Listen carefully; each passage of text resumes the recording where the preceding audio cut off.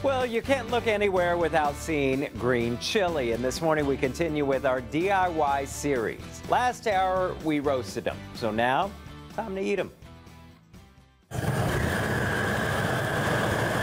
We've roasted the chili, sweated out, and peeled them. Now it's time to make them get in your belly. So here's some easy ones, five minute ones. Let's say you made a fresh pot of beans.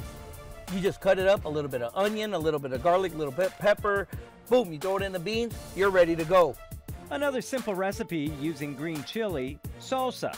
Since it's football season, this is the real easy one. Dice up the chili, onions, tomatoes, add some spices. Add a little bit of salt, pepper, uh, garlic to it. Boom, with a little bit of chip there. There it is, chips and salsa. You're set to go. Or for a little snack, how about you get a tortilla, add some cheese and some chili, then dig in. All right, let's get the taste test in here. Mm-hmm. He just talked about the first time. we pulled somebody in the hot chili. Is that what you did to me? Hey, what'd you learn in school today? Sharing. But for the more advanced, perhaps you want to try making green chili enchiladas.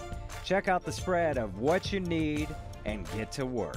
Or Pozole, menudo, uh, chile con carne, tam- tamales for Christmas time. with green chili, the possibilities are endless, and they're so good you might just want to eat them by themselves. You know what? If you're like my grandmother, you just turn around, grab this, grab a piece of this hot chili right here. You're gonna do it. That's Yeah. the hot one. This is the hot That's one right double here. X. You're gonna do This it. is it right here. You just turn around. You're gonna do it. You grab this right here. Hold on, brother. Hold on. That's what we call dropping the mic. Hand him, hand him the water. He's gonna Louis, need that. He's I gotta tell need you, that's when you know it's really good.